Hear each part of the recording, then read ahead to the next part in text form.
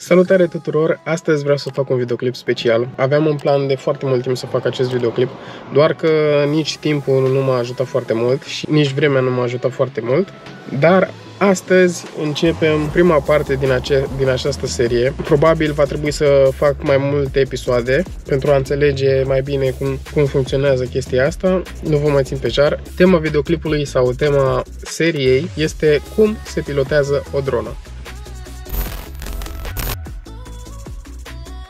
Acum o să mă auziți mult mai bine. Fără zgomote de fundal. Sper să ne ajute, sper să avem sunet bun. Haideți să pregătim câmpul de bătaie, pentru că pentru asta am venit aici. Aici, drona. Faimoasa drona. Care a făcut atâtea filmări. Uh, tu poți să stai... De fapt nu, stai aici. Uh. Deci, o să vă arăt exact ceea ce fac eu înainte de fiecare filmare, cum verific bateriile, îmi pregătesc drona pentru a zbura și anume drona. Cardul îl am, îl am. Baterie. Asta să vedem dacă avem baterii. Perfect, toate încărcate. Luăm o baterie. O băgăm aici. Bun. Tu ai baterie? Ai baterie full chiar. Bun. Acum. Asta. O să stai aici. Prima chestie pe care o facem, dăm siguranța jos de la picioare. Bă, nu să nu cadă astea. Perfect. Deschidem picioarele. Prima dată cele din față, după aia cele din spate, pentru că altfel nu merg. Deci nu merge să faci așa. Nu merge să-l deschizi pe ăsta primul, pentru că după aia pe ăsta alt din față nu mai deschizi. Deci prima dată fața, după aia spatele. Bun. Verificăm elicele. Să vedem motorașele dacă merg. Da. Nu, nu știu, chestia asta o fac de fiecare dată. Și doar în momentul în care sunt sigur că totul o să meargă bine, atunci decolez. Altfel nu. Aici e un pic murdară, dar trebuie să o mai curăț și eu. E plină de praf. Bun, acum cea mai importantă siguranță este asta. Să avem grijă cum o dăm jos, pentru că nu vrem să rupem gimbalul. Haide, așa. Foarte bine, foarte bine. Ce fac eu acum? O să o pornesc. O apăsare scurtă și una lungă. Și o să o pun undeva aici. Hai să vedem unde o punem. Hai să o punem aici, că pare mai drept. Următoarea chestie este să intrăm în aplicație.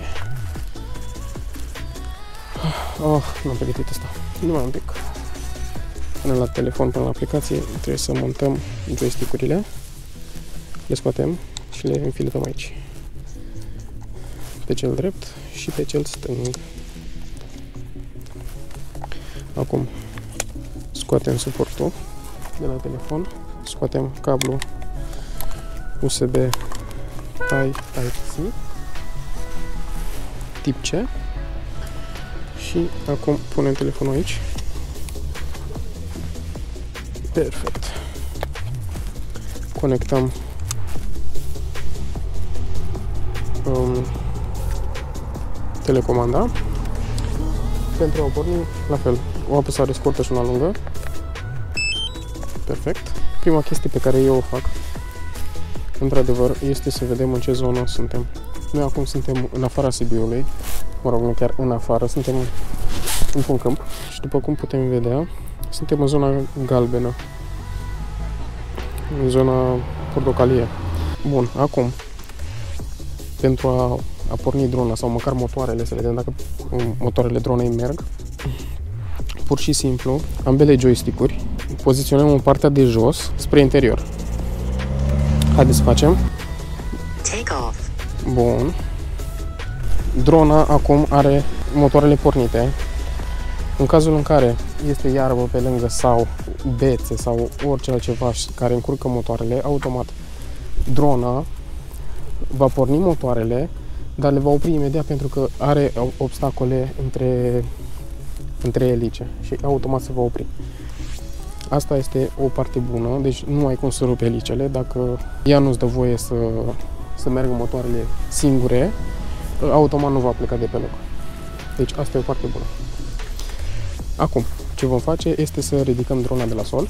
Vom face următoarea chestie, să vă spun de la bun început. Joystick-ul din stânga, dacă dau în sus, automat va ridica drona. Dacă îl dau în jos, drona va coborâ.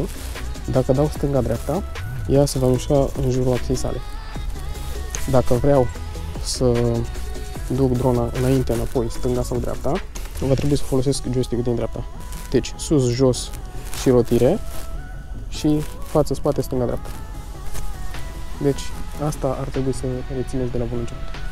Acum, ce vrem să facem noi este să o ridicăm de jos. Da? Pur și simplu uh, ridic un pic din joystick-ul ăsta. Și, și după cum putem vedea, drona este în aer.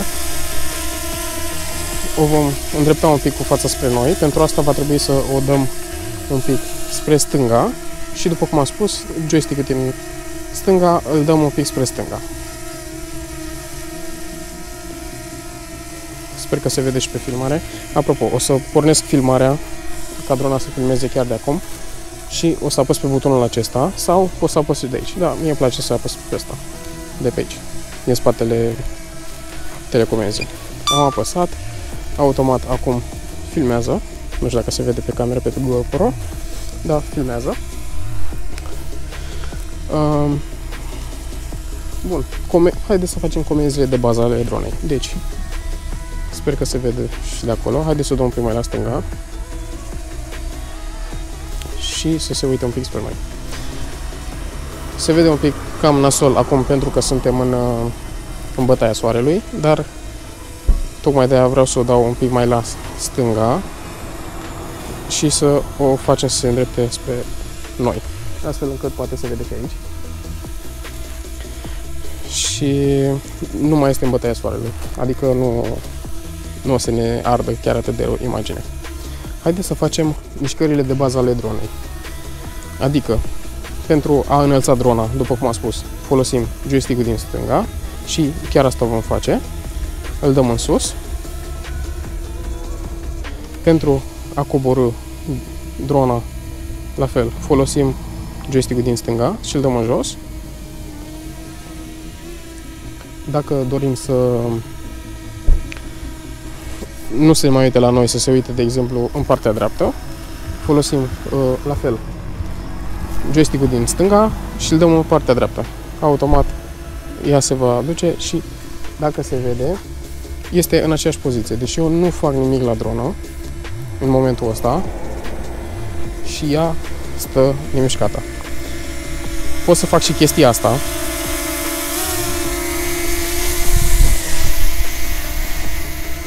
Pentru că drona are sub ea doi senzori. Acei senzori sunt mai mult pentru mici obstacole. În cazul în care ceva trece pe sub ea o, chiar și o pasăre, sau trecem pe sub o creangă sub, sau orice altceva, automat se va ridica. Doar că, având în vedere că drona este una foarte mică, are doi senzori pe care îi are în partea de jos. Și asta este un dezavantaj din punctul meu de vedere. Dar nu este imposibil de, de pilotat, este chiar foarte, foarte ușor. Am terminat cu joystick-ul din stânga, haideți să facem și pe cel din dreapta. Pentru a face drona să vină spre noi, deci are nevoie să meargă înainte. Dăm din joystick din, din dreapta, ușor înainte. Și după cum puteți vedea, deja se apropie. Dacă vrem să se îndepărteze de mașină, să nu mai fie așa aproape de ușă, toate că mai are cam jumătate de metru, uh, pur și simplu îl dăm, dăm drona înapoi, de joystick înapoi. Dacă vrem să, să se dea drona în stânga sau dreapta, pur și simplu stânga, dreapta. Stânga, dreapta. Deci sunt niște comenzi um, care îți vor intra în reflex după prima oră, primele două, trei ore de zbor. Bun, ce altceva aș vrea să vă mai învăț?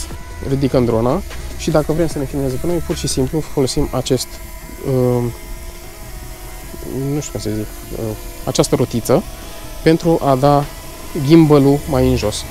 Pur și simplu trag de el în, în jos, în stânga, pentru că merge exact ca la mașină, dreapta sus, stânga jos. Trag de el în stânga și acum ușor ne vede pe noi, face focusul pe noi. Este ceva foarte, foarte, foarte ușor de înțeles, deci dreapta sus, stânga jos ca la mașină, ca la semnalizare, pentru a avea un focus, focus cât mai bun pe subiect. Haideți să facem o chestie. O voi înălța un pic mai sus, deci ridic un pic mai sus, ca să nu se mai audă chiar atât de tare.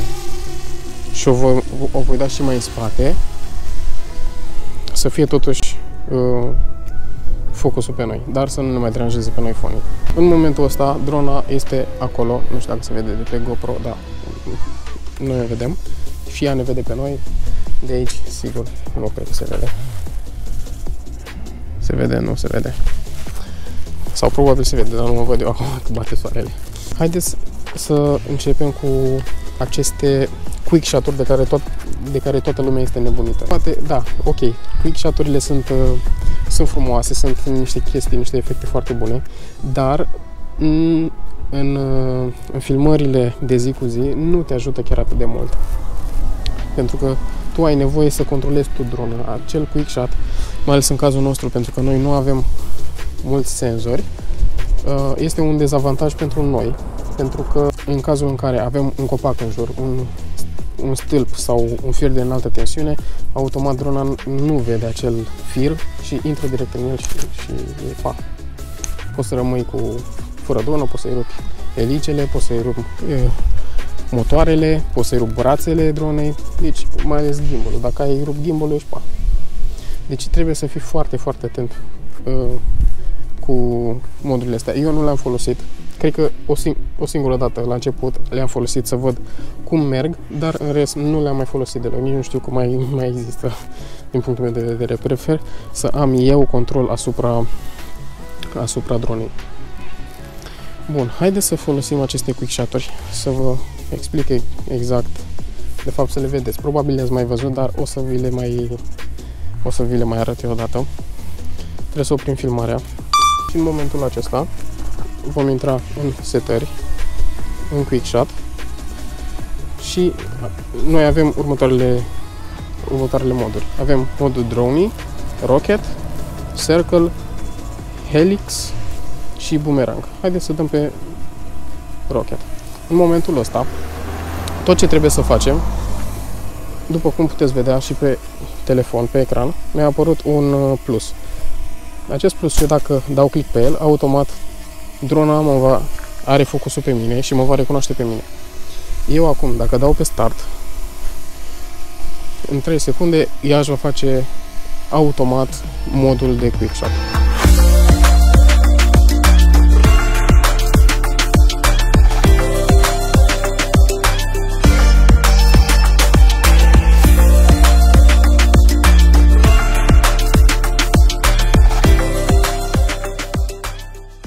Eu în momentul ăsta, după cum vedeți, nu apăs pe nimic. Și ea se duce în continuare. Neavând senzori în spate, dacă am fi pe lângă niște copaci sau niște stâlpi, cum sunt cei de lângă noi, cum îi vedeți, uh, ea nu i-ar vedea și ar putea să dea direct în ei. Și nu, nu aș vrea să-mi asum riscul ăsta să stric Dorona doar pentru un anumit mod, pentru că nu am capacitate destul de experiență astfel încât să, să pilotez drona așa cum vreau eu. Bun, haideți să folosim alt mod. Deci am folosit dronii, haideți pe rocket. La fel, o să ne apară pe plus, dăm click pe plus, ne-a încadrat, îi dăm start și la fel.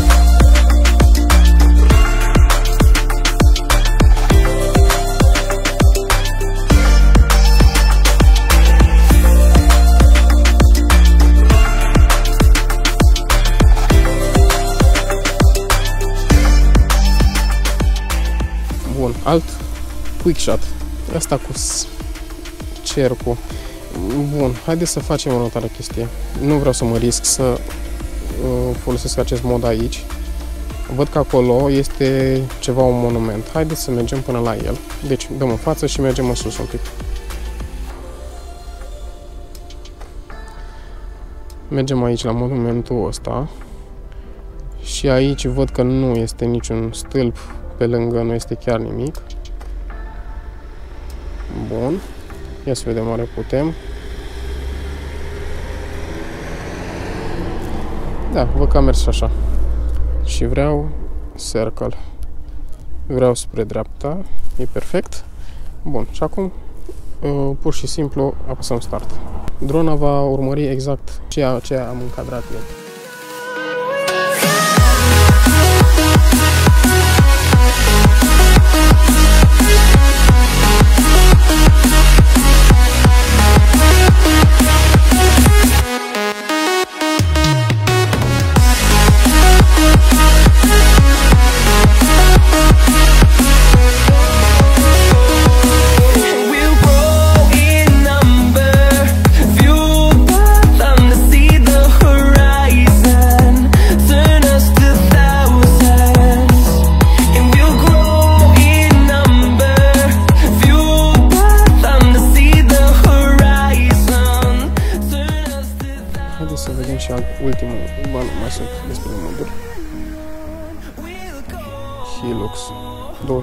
25 de metri. Hai, ok. Hai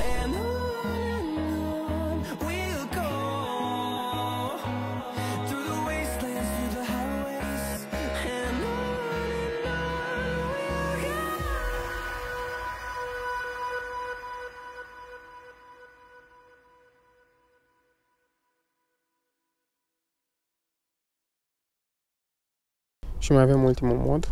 Sper să nu mai ajungă bateria să-l mai facem și pe acesta. Pentru că deja ne-a mâncat peste 63, 60, ba da, 63% de baterie. Mai avem 37. Uh, da, pentru că motoarele merg în continuu. Noi acum cât am filmat? Jumătate de oră? Băi, ești nebun? Cum am filmat o jumătate de oră? Deja? Bun, hai Hilux, din nou. Asta, nu, asta e bumerangul. Pardon, mă scuzați. La fel pe partea dreaptă.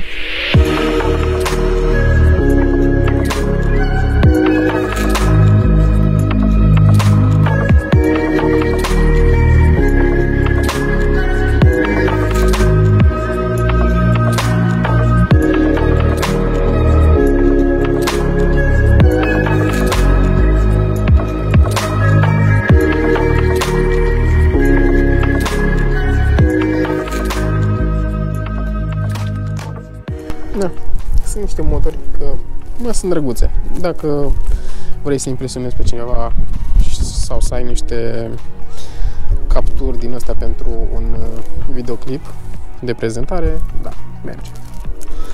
Dar nu este ceea ce mi-ar plăcea mie.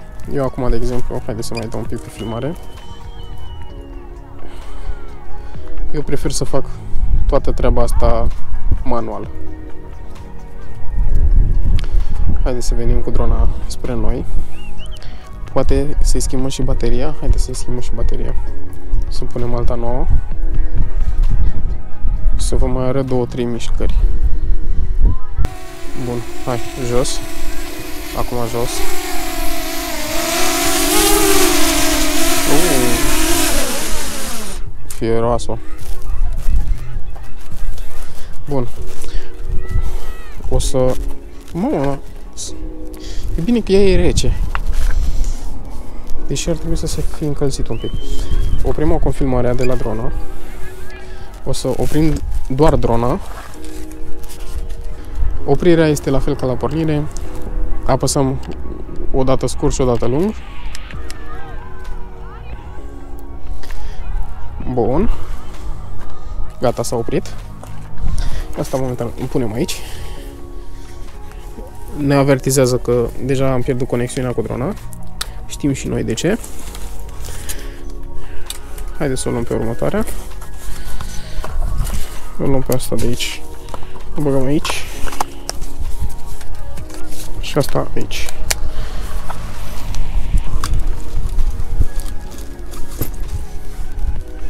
La fel, ca să o pornim o dată scurt și o dată lung. Și o să încerc să o pornesc direct. Repet, voi să nu faceți ca mine, pentru că e riscat să vă loviți. Bun. Facem așa. Pornim motoarele, după cum am spus. Și o să fac următoarea chestie. Deci poți să o pornești și așa. Deci nu, nu apăs pe nimic pe controller, dar pot să fac așa. Trag de două ori de dronă în jos, da? Facem așa. Și după cum putem vedea, este deja în aer. O dăm un pic în spate să nu ne mai deranjeze. Ce aș vrea să fac acum? Haideți să luăm așa un cadru mai cinematic, mai frumos, cu bulevardul. Ridicăm drona până la o altitudine astfel încât să depășească înălțimea stâlpilor, în cazul nostru. O să mergem cu drona în stânga, mai ridicăm un pic să fim siguri. Și acum noi facem următoarea chestie. O să mergem ușor pe toată lungimea acestui uh, bulevard. You don't like the lights, but it's camera time. Said take the picture, but you rolled your eyes. Now I'm mortified. and still terrorized Push me behind to get me from my better side I wanna push you back, but that's all you want Wanna rub me up, I'm holding back Trying to get me framed, throw me in cuffs Said I attacked you, that's just a false truth. No need to argue, and yeah, I've had enough. You follow me anywhere I try to be alone. I find you there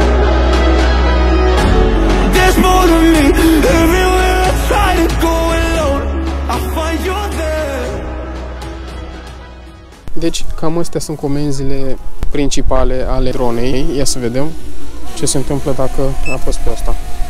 Da, trebuie să fii la o distanță mai mare, înseamnă. Pe atunci facem așa și o dăm în spate. Avem 40 de metri, avem 40 de metri. Avem 20. Bun. Am ținut apăsat. Se ridică până la nu mai, nu mai știu exact la cât, la cât am setat eu să se ridice până să vină. 40, 50...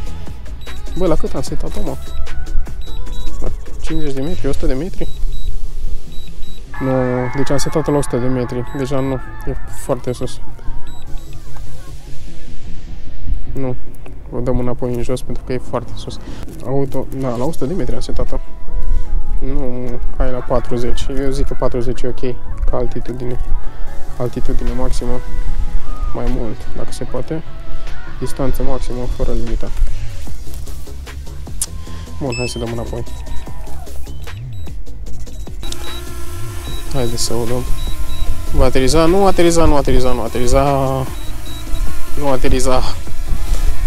Acolo zgunoaie. Nu ateriza perfect. Deci din punctul Hai să stai așa, stai acolo. Să nu ne mai deranjezi. Ești pedepsită. Acesta a fost primul videoclip legat de cum se pilotează o dronă. Acestea sunt setările de bază. Ah, ce nu v-am arătat este cum să dai cu zoom. Pentru a da cu zoom, ținem apăsat pe butonul acesta de fână și folosim din nou rotița de la gimbal pentru a da zoom in, zoom out. Modurile de de viteză și de putere al motoarelor se pot modifica de aici, de pe controller. Noi suntem acum în modul cinematic, nu știu dacă se vede. C-mod și aici cine, adică cinematic. Dacă vrem să modificăm puterea motoarelor, pur și simplu dăm pe normal sau pe sport.